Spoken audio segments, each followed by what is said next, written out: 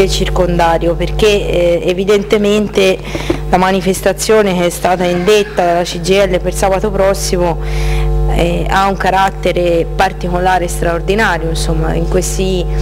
ultimi due anni di manifestazioni ce ne sono state parecchie Riteniamo però eh, anche noi che quella di sabato abbia una sua specificità che eh, mi sentirei di riassumere in questo modo.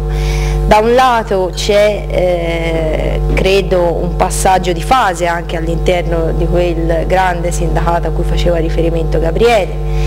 eh, dato non solo ma anche dall'elezione della nuova segretaria, per la prima volta una segretaria donna. Un passaggio di fase che viene anche dalla necessità espressa dalla CGL stessa che si sta impegnando poi nella discussione in un tavolo con tutte le parti sociali, ma anche il governo, e questa è la grande e vera assenza, un passaggio di fase per provare anche a ricostruire un terreno di condivisione di alcuni punti critici a cui si fa riferimento anche dentro l'ordine dei giorni. Tavolo in cui peraltro eh, mi sembra di capire si stanno anche verificando delle eh, convergenze notevoli tra CGL e Confindustria eh, su alcune questioni eh, dicasi riforma fiscale, dicasi ammortizzatori sociali, per cui io vedo in questo un passo in avanti per il nostro Paese, perché eh, con i numeri che caratterizzano la nostra economia pensare di poterne uscire o anche solo cominciare a rimettere qualche passo della ripresa come invece altri paesi europei stanno già facendo senza passare attraverso una riunificazione degli intenti, della eh, legittimazione reciproca, non so se sia il termine giusto ma ci si capisce, tra le parti sociali credo sarebbe eh, complicato o sbagliato, forse ecco, ci farebbe perdere per la strada. Mi sembra ecco, invece che la manifestazione di eh, sabato abbia questo carattere, non a caso poi è stato scelto come slogan e come eh, punto centrale della piattaforma eh, il futuro e, e, e i giovani, eh, perché eh, probabilmente eh, sono anche, eh, siamo, visto l'età, la parte eh, che da un punto di vista generazionale e sociale nel nostro paese sta pagando di più i danni di questa fase e credo sia un segno di grande attenzione da parte della CGL quello pur dentro le, le, tante difficoltà che attraversano il Paese, mettere al centro questo punto e su questo punto provare anche a far convergere tutte le altre eh, forze. Per questi motivi eh, noi siamo convinti che eh, il nostro Consiglio Comunale debba discutere e per quanto ci riguarda sostenere le motivazioni che spingono la CGL a eh, questa iniziativa. Vi propongo però una modifica a questo ordine del giorno, così come è già stato fatto all'interno del Consiglio Comunale di Vinci, sullo stesso testo peraltro, se non vado errata, e di eh, togliere diciamo, l'adesione formale perché eh, riteniamo che questo non sia un compito del Consiglio Comunale che quindi lo si possa trasformare dicendo che condividiamo e sosteniamo la manifestazione e eh, noi non voteremo oh, a favore della rappresentanza con il gonfalone. Quindi con queste due eh, modifiche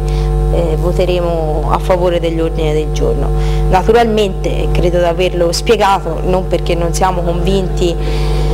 delle ragioni e delle motivazioni ma perché eh, non ci sembra opportuno nemmeno in questo caso che ci sia un'adesione formale dell'istituzione eh, Consiglio Comunale. Poi credo che il Sindaco magari possa anche aggiungere qualcosa, so che eh, tutti i nostri sindaci stanno anche ragionando assieme con una posizione comune rispetto a questo, tra l'altro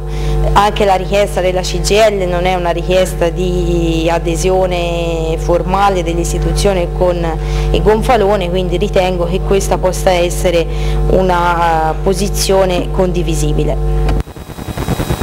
Sì, magari consigliere Parnini, credo che sarebbe opportuno questa modifica formalizzarla con eh, la presentazione di un emendamento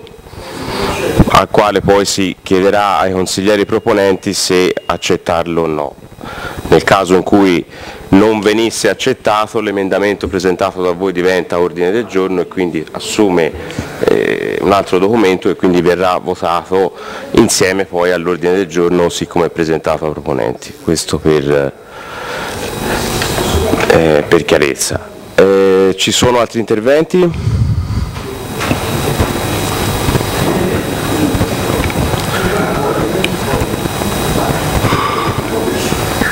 Borgherini.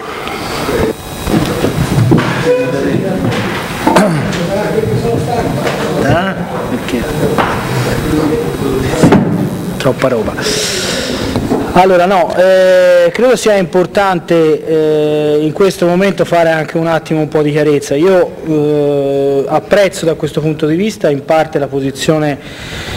appena espressa dal capogruppo di maggioranza, perché comunque vada come cittadino di Empoli, sinceramente non avrei accettato una strumentalizzazione del gonfalone della città ad una manifestazione come questa. Non posso accettare che il consigliere Bini indichi quelli che sono i eh, sindacati che rappresentano i, eh, quelli che possono rappresentare il mondo de, de, de, del lavoro e quelli che invece non lo rappresentano, che si possa permettere di eh, individuare chi oggi fa gli interessi del lavoro e chi invece no. Io da questo punto di vista credo che sia un po' arrogante come considerazione fare questo tipo di eh, eh, valutazioni che soprattutto non tengono conto de, de, dell'impegno quotidiano di una rappresentanza sindacale che ha la stessa dignità in un paese in cui chi sceglie di, di impegnarsi per i lavoratori e per, per, per l'interesse del, del lavoro deve avere la stessa dignità proprio perché l'impegno è comunque lavoro di queste persone e di questi operatori nel mondo del sindacato e deve avere maggior rispetto a prescindere da, dalle varie posizioni politiche. Quindi trovo una palese contraddizione nelle parole del consigliere Bini quando non si prende in considerazione il rispetto per una rappresentanza sindacale che ha la stessa dignità a prescindere dalle posizioni politiche.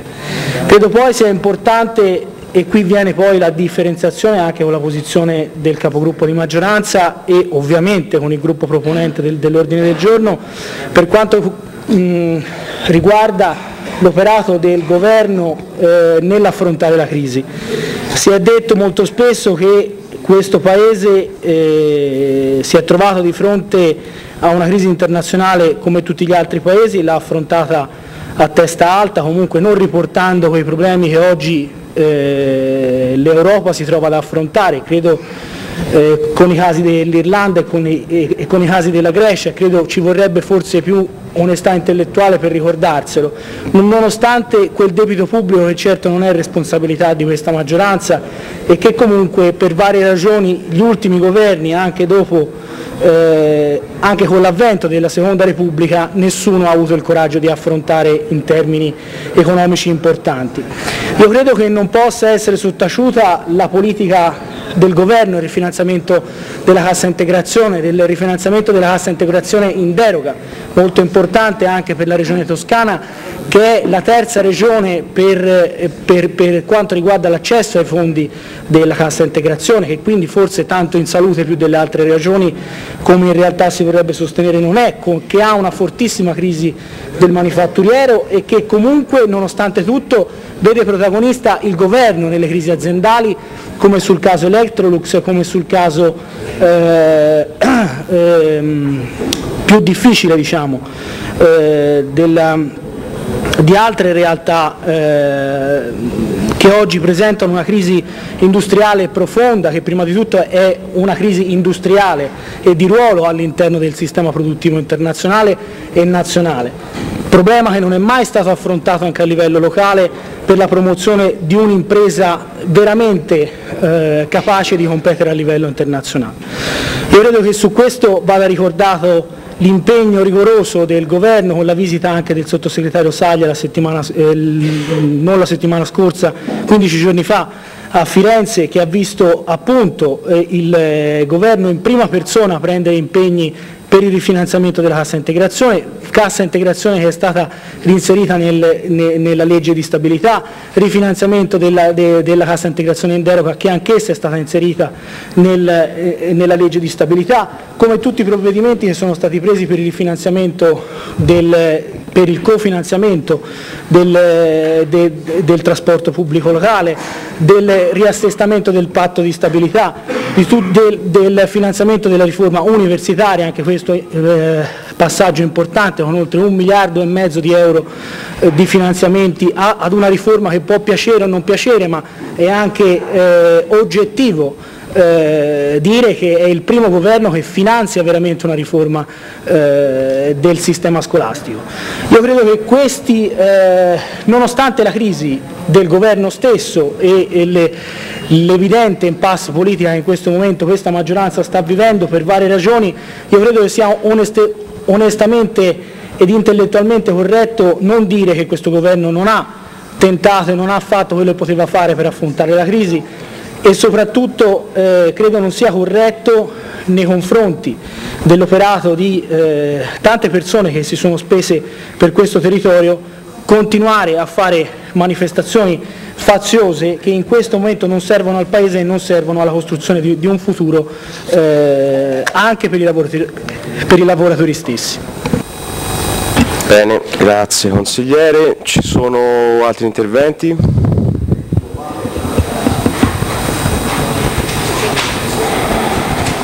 Consigliere Gaccione. Sì, il consigliere Borgherini è, è simpatico, però nella sua, dire, nella sua, nella sua, nel suo entusiasmo mi permetto di dire, senza essere offenda, che è un po' anche contraddittorio perché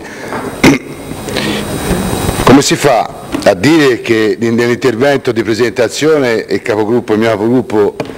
compagno Vini non rispetta la dignità degli altri sindacati e poi dire che questa è una manifestazione faziosa. Cioè, allora cominciamo a rispettare il sindacato più rappresentativo, che so, l'ha spiegato, sembra di no. Cominciamo a rispettare il sindacato più rappresentativo. Un sindacato che per sua storia non ha mai, non ha mai fatto degli interventi, manifestazioni o scioperi anche importanti che non avessero come obiettivo l'interesse del Paese. Non è mai stato un sindacato fazioso da questo punto di vista. Certamente è un sindacato, quindi difende i lavoratori, ma i lavoratori sono anche cittadini e difendendo gli interessi dei lavoratori si, difende l'interesse del Paese. Perché quando si dice che il governo dei miracoli ha fatto tutte le cose, anzi diceva il consigliere Borgherini, si fa il gioco delle tre carte, lo so che è un'espressione quasi volgare da quanto è in, in disuso, diciamo così, no? però è così, perché da una parte si toglie 10 e da un'altra si dà 0,1, perché prima si è fatto la cosiddetta macelleria sociale. E poi dopo si è fatto rientrare in qualche maniera, si è detto guardate vi si leva tutto. E poi dopo invece quando uno pensa e ormai sa che viene tolto tutto, gli si fa riapparire uno 0,1 e si dice guarda ragazzi, insomma, e questo non è accettabile. E noi non, può, non possiamo come, dire, eh, come consigliere comunale, come istituzione non, eh, non, prendere parte e non prendere una parte, che è la parte poi, la parte dei cittadini, la parte del paese, perché la crisi c'è stata e c'è stata per tutti, però altri paesi che non sono certo paesi eh, comunisti si comportano in maniera diversa. E qui qualche perplessità mi viene anche la proposta, poi chiaramente ci esprimeremo sull'emendamento in maniera più chiara, quando anche lo vedremo in forma scritta, però qualche perplessità mi viene anche su quella, la proposta che ci viene fatta dal, dal gruppo consigliare del Partito Democratico, non so, non so, se è la stessa che fa il, il gruppo consigliare dell'Italia dei Valori, se interviene oppure, ma con questo non voglio che tu ti sei, sei sempre obbligato ad intervenire il consigliere di Murano, ma comunque poi ci dirà se la sti- però al momento ci sembra che sia proposta del gruppo del Partito Democratico. Però vedete, oggi c'è stata una conferenza stampa del segretario della Camera del Lavoro di Firenze e ha parlato di cose precise che non riguardano soltanto